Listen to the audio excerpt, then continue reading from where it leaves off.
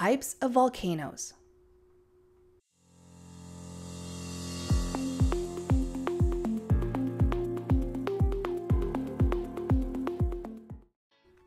A volcano is an opening on the surface that allows material from Earth's magma chambers to escape. The materials can be lava, rock, ash, gases, or a combination of them. When the materials escape, it causes an eruption that can be explosive, sending materials skyrocketing to the sky, or a calm, gentle flow. Most volcanoes occur in areas where the Earth's tectonic plates move toward each other or away from each other. However, they can also occur in areas called hotspots, a location over a mantle plume where the magma is hotter than the surrounding areas. There are three main types of volcanoes cinder cone, composite or stratovolcano, and shield. Veyo Volcano in Utah is a cinder cone.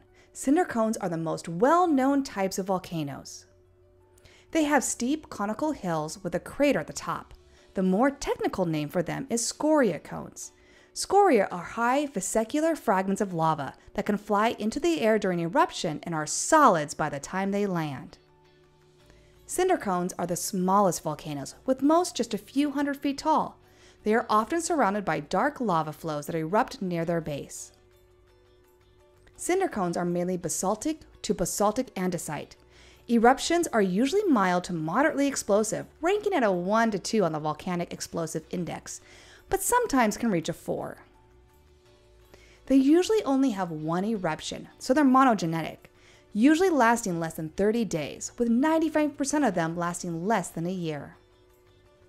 They are found with other volcanoes and can occur in calderas or on the sides of composite and shield volcanoes. Mount Hood in Oregon is a composite volcano, otherwise known as a stratovolcano. These volcanoes can be thousands of feet tall and commonly have snow covered peaks. Their shape is conical with a concave shape that is steeper near the top. They are composed of lava flows, pyroclastic deposits, and mud flow deposits. Composite volcanoes have multiple eruptions with a range of compositions and have different types of eruptions. They can have eruptions resulting in lava and pyroclastic flows that help build up their size, as well as large blasts that destroy vast areas of their summits. The most common eruptions are composed of andesitic and dacitic magmas, but can erupt a range of compositions from basalt to rhyolite. They are typically active for hundreds of thousands of years, with multiple eruption and dormant periods in between. Many of them are found along the Ring of Fire, a location where different tectonic plates meet. Mauna Loa in Hawaii is a shield volcano. Shields are the largest volcanoes on Earth. They are known for their gentle slopes that resemble a warrior's shield. They are usually constructed of basaltic or andesitic lava flows that are very fluid. These lava flows occur intermittently over long periods of time, sometimes for over a million years. Shields do not have explosive eruptions. Instead, their lava flows slowly for long periods of time, allowing the lava to travel long distances. Their eruptions come from both the top of the volcano and vents on the side. The lava can also travel in channels or lava tubes. Many shields experience multiple eruptions over their lifetime and to their size. Multiple eruptions means they're polygenetic. They are located adjacent to subduction zones and continental rift zones and can also occur in hotspots. Let's wrap it up. Volcanoes are openings on the Earth's surface that allow material from Earth's magma chambers to escape. And there are three main types of volcanoes. Cinder cone are the most common. They have conical shape with steep sides. They're the smallest, and most have just one singular explosion.